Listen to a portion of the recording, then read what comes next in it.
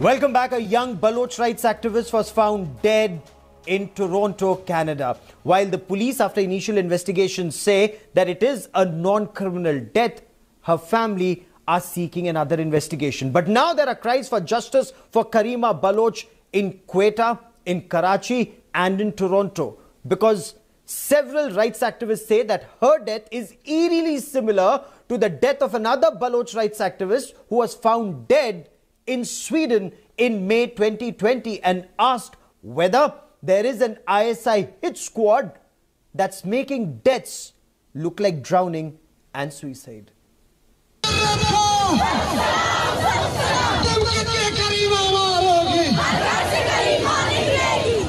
There is anger. From Quetta and Karachi in Pakistan to Toronto in Canada. If not, it's vain. Protest rallies were carried out in different cities across Pakistan against the death of activist Karima Baloch in Canada under mysterious circumstances. Baloch leaders say Karima Baloch was murdered and have demanded a thorough investigation.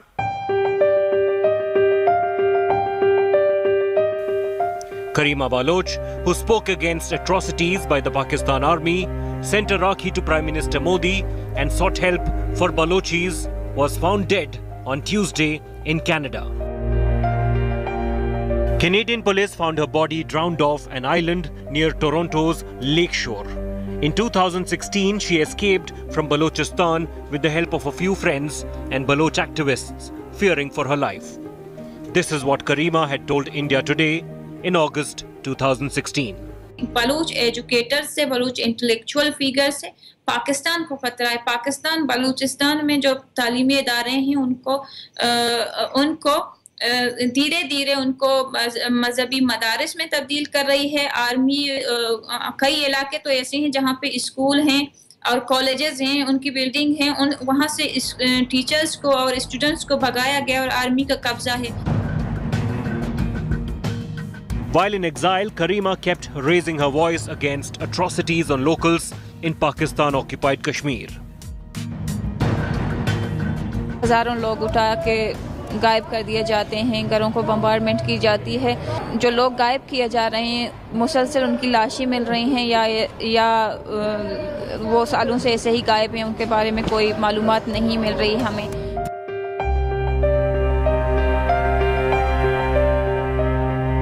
Friends and fellow activists in Canada and other places across the world expressed their dismay over Karima's sudden death and are refusing to accept that it was an accident. Karima's mysterious death comes months after Baloch journalist Sajid Hussain was found dead in similar condition outside Uppsala in Sweden. Bureau Report, India Today.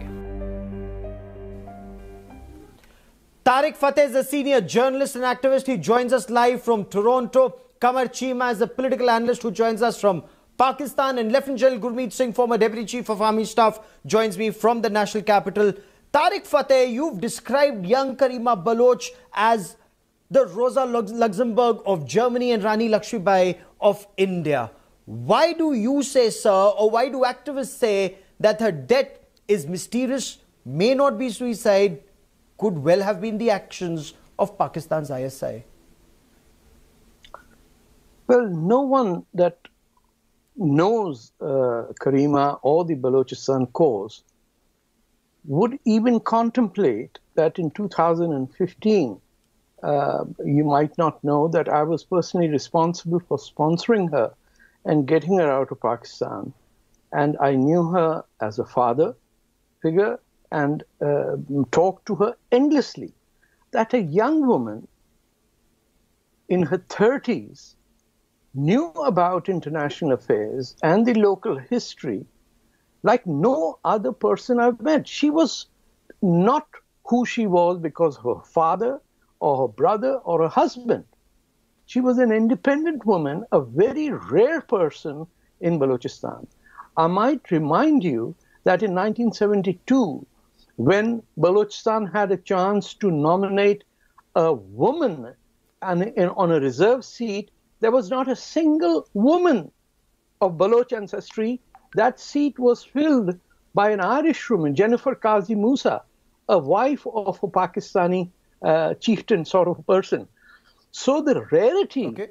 of a young woman who took the courage to take a flight. This was her first way out of the country. She escaped, got to Dubai, from there took a flight, landed in Toronto. Her other colleague, Latif Johar, too came over here. There was another woman also came who later uh, went back. But they stood the test of time and they fundamentally exposed what was happening in Balochistan, which probably most Indians or Pakistanis are not aware that it was an independent country. It had an embassy Yes. in Karachi.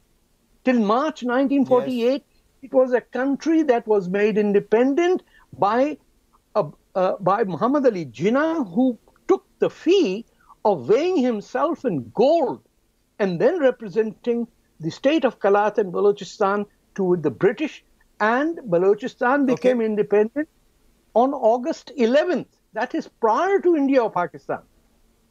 But it's covered up, and there was an interest to kill her, if at all. There might be other reasons, I don't know. But this woman didn't come to Canada to commit suicide. If she wanted to, she would have done it back over there.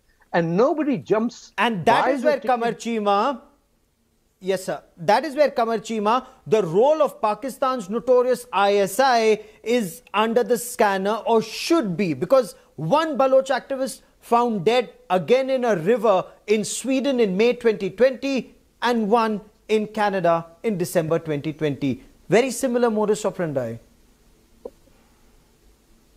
Well, I think uh, this is a very serious case, and uh, uh, this this death must be unearthed. That what has happened. First of all, we need to listen to the Canadian authorities. Second, definitely, uh, uh, uh, she's a young lady and she had a promising future, and one must know that how this has happened. But at the same time, we must not ignore that that Srivastav Group and EU Disinformation Lab revealed this that Srivastava group were using this lady uh, for uh, speeches across the world. So why we in, Aren't here in Pakistan are really aren't you concerned? Why insulting Indian uh, state a is person killing who's no longer alive? Why Indian deep That's state is killing Okay. the Baloch in Tarek Fatah wants to so respond. to create a discord in How? Pakistan. Indian What deep is state this? is deliberately making such kind of efforts so that the relations the between Indian deep state? the relations all ethnic You groups in think the entire population get of. Balochistan is the deep state? Okay. So uh, I think the blood of Sir, the Tariq blood Fateh wants to respond to is you. The hand of the Indian deep state. That is what Yeah, we what want the you're Canadians to unearth. Okay. The Canadian Tariq police Fateh wants to respond to you, sir. This. this is the responsibility of the Canada to unearth. Cheema Sahab, are Tariq you Fateh, you want to respond? that- Go on, sir. Are you suggesting that the entire population of Balochistan is guided by the Indian deep state? And if it is, that means they don't want to live with you. All Pakistan has done has massacred tens of thousands of Baloch since I was a teenager in Karachi. I've seen the massacres of 1967, I, in the war after 1972, when Indira Gandhi presented the Pakistan army with 90,000 soldiers, and Mr. Bhutto sent them straight to Balochistan. I've seen it after 1984. I've seen six, seven people being assassinated. Balach Marri was killed. Nobody understood that. Assad, uh, uh, uh, Ataullah Mengal's son Assad, was shot dead while he was injured in a hospital bed. We are, sir, aware. Perhaps in Punjab you don't smell Balochistan, but it runs through our veins. We have been, our Baloch brothers have been massacred. Similarly, like when we killed 10 million Bangladeshis by calling them Bhuka Bengali.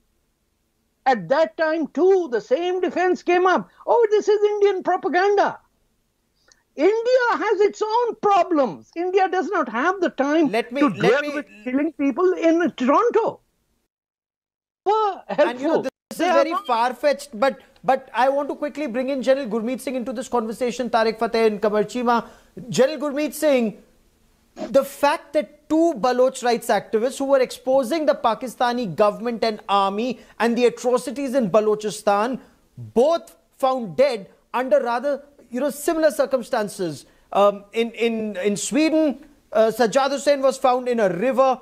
They said it's suicide. His family says it couldn't be. They suspected ISI. Again, in Karima Baloch's case, found in a river. They said it could, it's suicide. Family says can't, can't be. Uh, you are absolutely right. In fact, Cheema was just referring to a word deep state.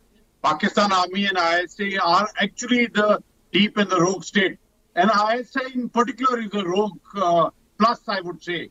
In fact, uh, what you have quoted of the incident of the Sajjad Hussain in Sweden and this particular case, and in fact, my deep condolences for the brave young leader.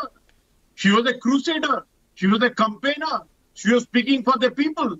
In fact, every indication of the mysterious aspect of the murder indicates that it is a network. It is ISI type of Okay. a network which has worked on this because everything is indicating towards that. Pakistan has been following a state Okay. policy of targeted killing uh, abroad of those people who are a problem to them. And actually, she is the Tariq one. Fateh, had the Tariq. Fateh. Okay. Is Chi- is Pakistan taking a leaf out of their master's book of silencing dissidents even overseas using covert or overt means, sir? You just have to read what they say. A very close ally of the Pakistani military establishment, somebody called Malik uh, Ahmed, uh, who had a bank uh, in uh, in uh, New York City, tweeted that Karima Baloch done, and the next was Tarek Fatah waiting, Bukhari waiting, and and inshallah, all three, including a, a, a, colleague of mine who is in Paris in exile, another one, Mr. Yes. Guraya, who is in Den- uh, you know uh, Netherlands. We In were Denmark, listed uh, yes. as the next people to be killed.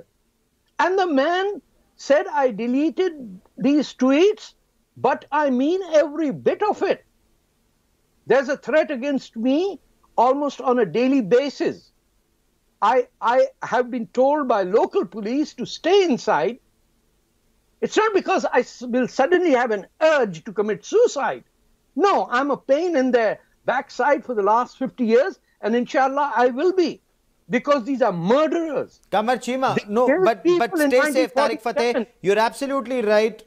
You're absolutely right. Uh, you know, the, the, such information is floating uh, that uh, you could be next uh, on, on the target, or some Pakistani dissidents living in Paris, some in Denmark, and Yes. some in the Netherlands. And Qamar Cheema, Qamar Cheema, this is really alarming, sir. The tweet that Tarek Fatah refers to is someone who's considered very close to the Pakistani deep state, sir.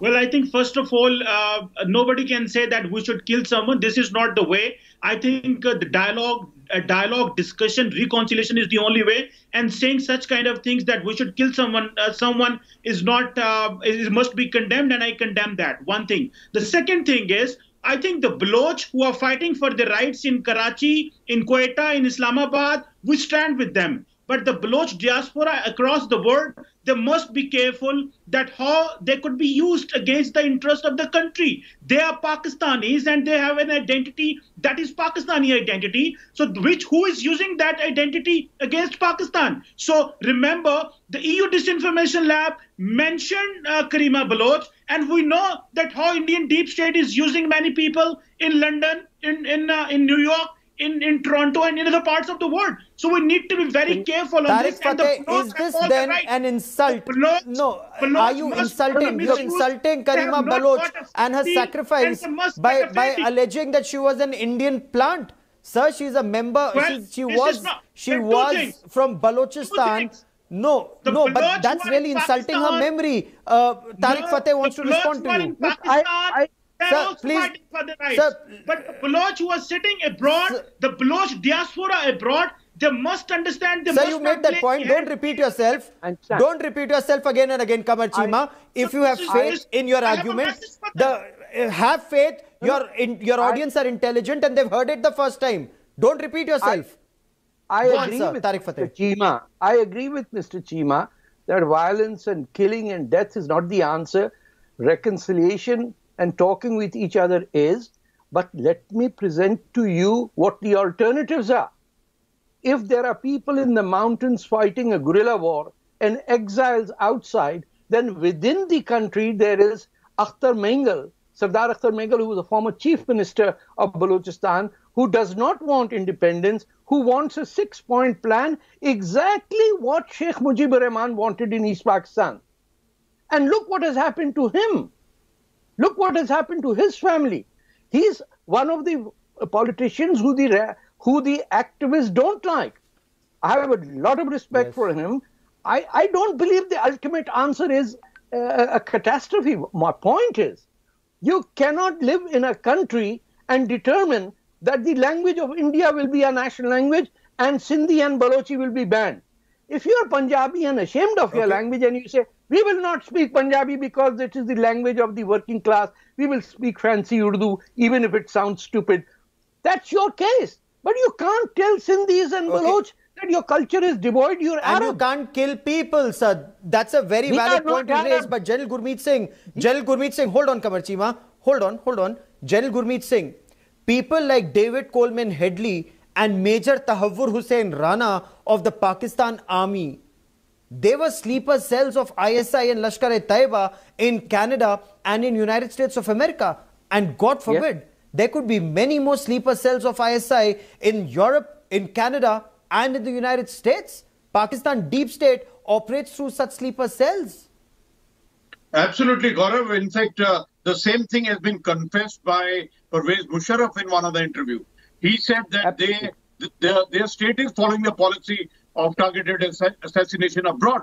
And uh, see, uh, one thing is very clear that uh, Karima Baloch was a prominent leader. In 2016, she was the BBC list of 100 inspirational and influential women. In 2018, she very pointedly told uh, at the event of the 70th anniversary of Balochistan, saying that there is a genocide which is going on in Pakistan. In fact, she was a Yes. herself a crusader. She campaigned against the disappearance, forced disappearance in Pakistan. In fact, from every Yes. indication of it, because today is Christmas, she was threatened with a Christmas gift. And everything is pointing towards ISI as a rogue state. And I, I would say that the world has got to wake up to it.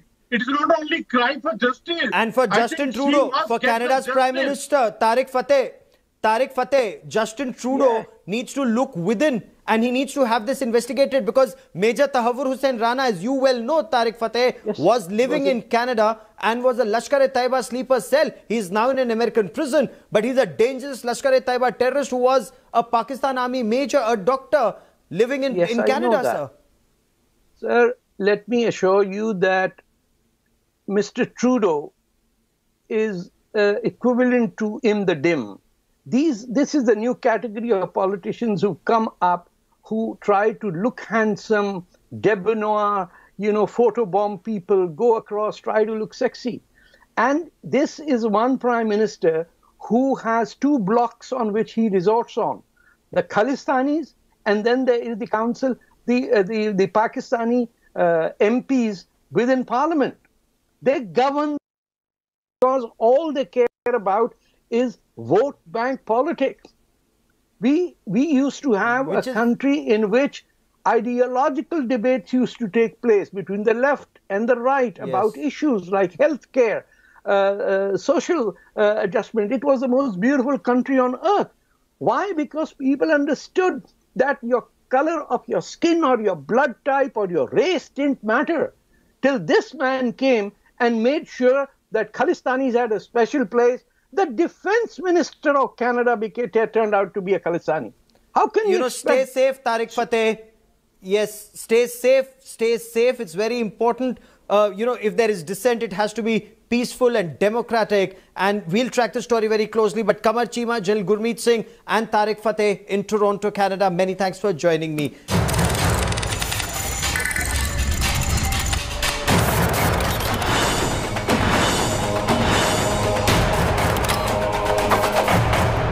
Hi everyone, Preeti Chaudhary here. Hope you like this video. For latest news and analysis, like and subscribe to the India Today YouTube channel. And don't forget to press the bell icon to stay updated. Thank you for watching.